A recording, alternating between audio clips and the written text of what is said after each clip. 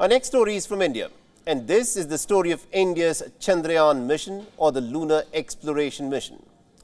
The very space mission that plans to take India to new heights. Now, India is all set to launch Chandrayaan 3, which is expected to take off on the 12th of July. And ISRO's Chandrayaan 3 mission aims to land the spacecraft on the south pole of the moon in less than two months' time. And this news comes with a confirmation from the ISRO chief, S. Somanath, who is pretty confident about the launch of the mission.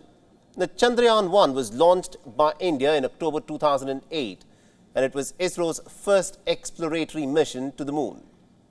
Chandrayaan 1 was designed to just orbit the moon and to make observations with instruments on board. It operated for a total of 312 days and it achieved 95% of all its planned objectives.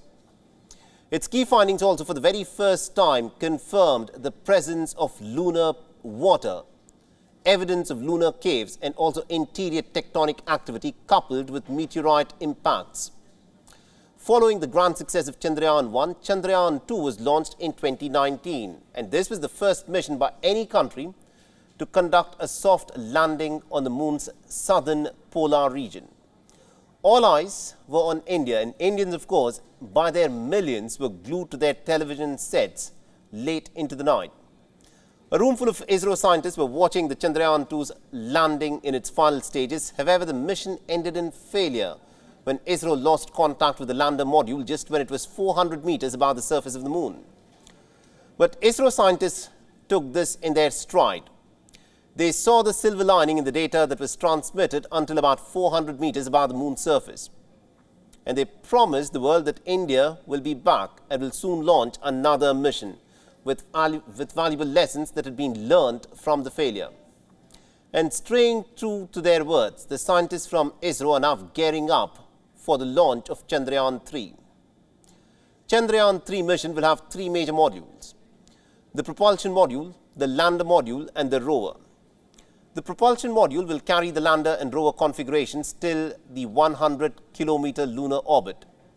The lander module will have the capability for a soft landing at the specified lunar su surface on its southern pole. And finally, the last module, the rover, will carry out the chemical analysis of the lunar surface. One of the main objectives of ISRO this time round is to have a stable landing. Chandrayaan 2 mission was unsuccessful due to a last-minute software glitch and scientists this time round are not leaving any stone unturned to avoid such glitches. Now, earlier this year, Chandrayaan 3 spacecraft successfully completed several essential tests and these tests were conducted the, with the objective to validate the spacecraft's capability to withstand the harsh vibrations. Chandrayaan 3 mission carries scientific instruments and particularly aims to study the thermophysical properties of the lunar surface. Further, it also focuses on studying other phenomena such as lunar seismicity, lunar surface plasma environment and elemental composition in the vicinity of the landing site. Another interesting feature of Chandrayaan 3 is its cost effectiveness. While Chandrayaan 2 was developed at a cost of $142 million, guess how much the Chandrayaan 3 has been developed with a cost of? It's been developed at an estimated cost of just $77 million. That's almost half of Chandrayaan 2. Now remember, this is not the first time that India has launched very cost-effective space projects. India had stunned the world when its Mangalyaan mission had reached Mars at a cost of just $74 million in 2013. This was a fraction of the $671 million that had been spent by NASA on a similar mission. The term Chandrayaan is derived from Sanskrit. It means a lunar spacecraft.